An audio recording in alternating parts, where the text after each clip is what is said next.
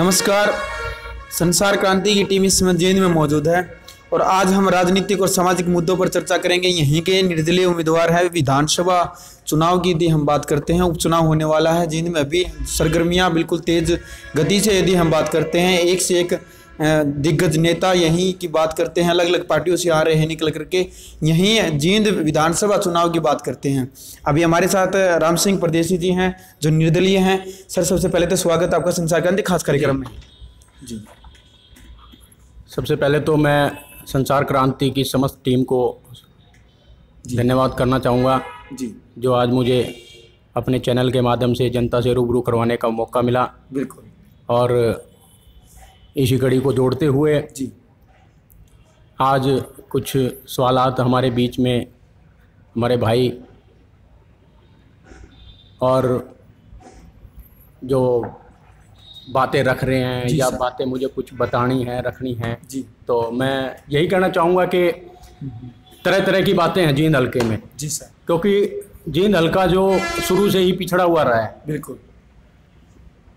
ये हमारा दुर्भाग्य है कि हमारे जींद शहर का अब तक विकास क्यों नहीं हो पाया? बिल्कुल। क्योंकि जींद शहर का विकास अगर किसी भी एक लीडर ने एक नेता ने अगर 10 परसेंट भी करवाया होता 1961 में हमारा हरियाणा बना था और सबसे पहले शुरुआत का ही हमारा ये जींद हल्का है। जी सर। तब से अब तक अगर एक लीडर 10 परसेंट भी अगर हमारे जींद शहर का विकास करवाता तो शायद कहीं ना कहीं आज ये एनसीआर के जो जो एरिए हैं गुड़गावा फरीदाबाद या हिसार या अपना करनाल अम्बाला इनकी दौड़ में हमारा जींद हल्का आज खड़ा होता। हमारे युवाओं को या हमारे हमारे यहाँ पे कमेरे वर्ग को किसी तरीके की कोई परेशानी नहीं होती किसी दूसरे की ओर मुँह की तरफ़ नहीं देखना पड़ता।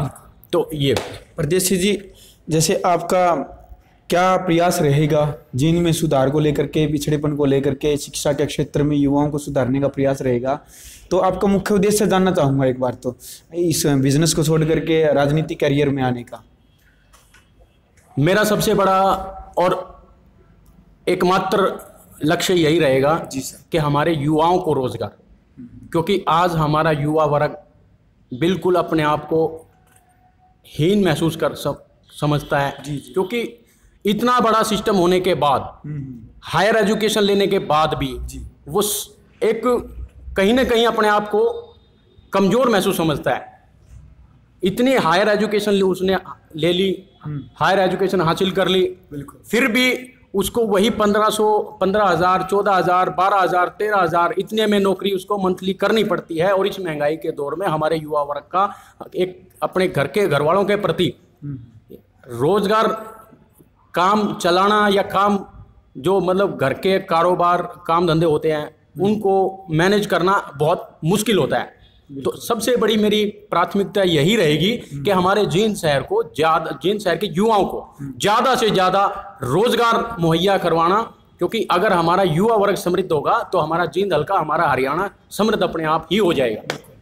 परदेशी जी जैसे यहीं बात करते हैं आपके जींद की अभी उपचुनाव होने वाले हैं ऐसे में जैसे अन्य अन्य पार्टियाँ हैं बीजेपी हैं कांग्रेस है इनेलो है तो एक न एक कांग्रेस पार्टी की तरफ़ से भी या इनेलो पार्टी की तरफ़ से भी कहीं ना कहीं ये बातें निकल करके आ रही हैं कि जो बीजेपी है ये कहीं ना कहीं डर के कारण जो चुनाव नहीं करवा रही है। इस बारे में क्या विचार आपका चुनाव को लेकर के?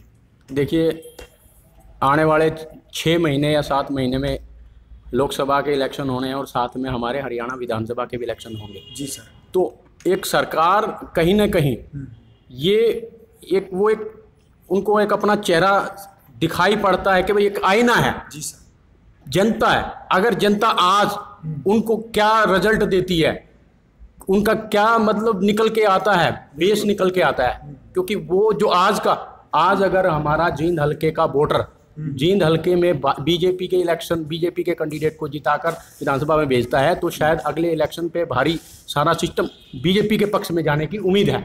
अगर ऐसा नहीं हुआ इसके विपरीत होता है तो ये सीधा सीधा कहीं ना कहीं इफ़ेक्ट डालता है अगले आने वाले चुनावों पे। तो इसीलिए बीजेपी का भी मनसा है ये कहीं ना कहीं कि भाई हम लोग इलेक्शनों को आगे टाल दें और आने वाले जो हमारे छः महीने हैं उनमें हम इलेक्शन करवाएँ तब तक हम छः महीने तक जनता के बीच में रहें जनता का जो विकास करवाया जा सकता है जितना भी करवाया जा सकता है लोगों से वोट लेने के तरीके से लगा लो या लुभाने के तरीके से लगा लो कि भाई हम जन जींद शहर में विकास करें